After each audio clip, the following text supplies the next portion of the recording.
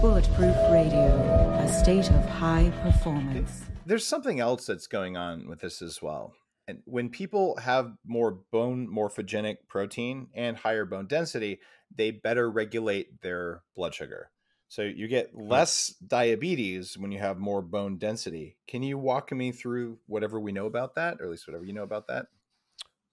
Yeah, yeah. The more bone density you have, the more muscular tissue you have that's active, that's participating in uh, GLUT4 signaling, so pulling in, um, you know, insulin and glucose and using it correctly. So we we have a clinical trial on bone density, and we have a clinical trial on type two diabetics, showing tremendous outcomes, but also the outcomes are stackable. So somebody takes, uh, you know, um, metformin, and it's the diabetes anti-aging drug, right? right? Yeah, and then and then yeah, it's very low side effect, very very high benefit if you have uh, a, a, lousy hemoglobin A1C score, uh, and then and then it, it assists you.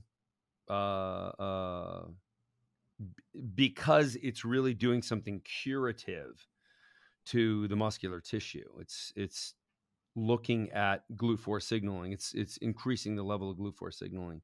So the activity in muscle, not so much hypertrophy, but uh, just the efficiency of having it be active and functioning and using these uh, using its receptors for glucose and insulin, which you know for somebody who, who's got metabolic syndrome they're not using those things.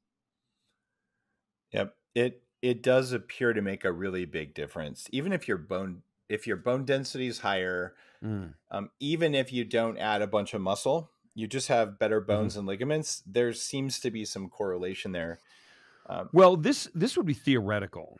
Yeah. Uh, because there's just no there's just no study that's that's going to look at similar populations, one with low bone density, one with higher bone no. density, because they're not going to be similar. They're, That's they're not, not. going to be the only incongruency between the two populations, yeah. so you can't study it. But what I would say is somebody who has a stronger chassis, has stronger bone mass, are they going to be able to build more muscle?